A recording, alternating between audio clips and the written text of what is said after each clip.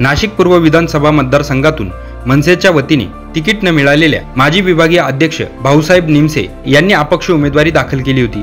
उमेदवारी अर्ज दाखल केल्यानंतर भाऊसाहेब निमसे यांनी आंतरवली सराटी येथे जाऊन मनोज जरांगे पाटील यांची भेट घेतली होती.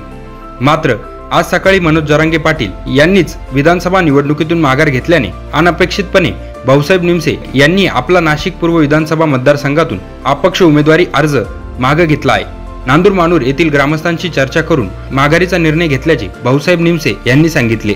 माघारीचं कारण हे आहे की आमच्या गावाचं नांदूर मानूर या दोन्ही तिन्ही गावां मिळून आमची गावची मिटिंग झाली आणि त्या मिटिंगमध्ये असं ठरलंय का तुम्हाला पक्षाचं तिकीट नसल्यामुळे तुम्ही उभे राहू नका.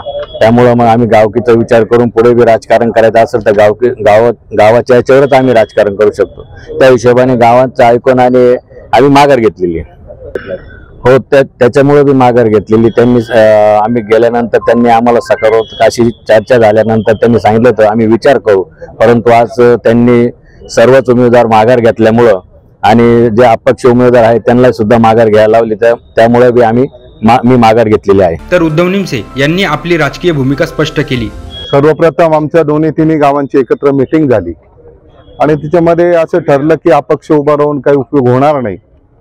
आणि मतांचं विभाजन होईल हे प्रमुख कारण आहे.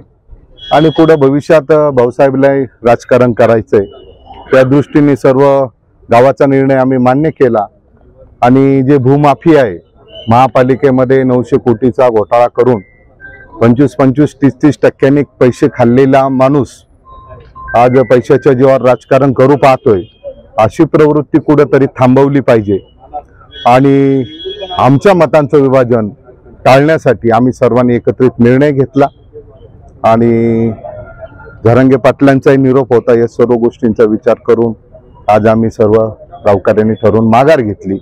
धनशक्तीचा नाश करणं हेच या निवडणुकीचं मुख्य उद्दिष्ट आमच्यासमोर आहे.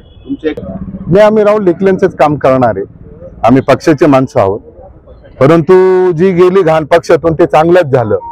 आणि ती कायमची राजकारणातून आम्हाला संपवावी लागेल आणि त्या दिशेनेच आमचं वाटचाल राहील. NCN news Nashik.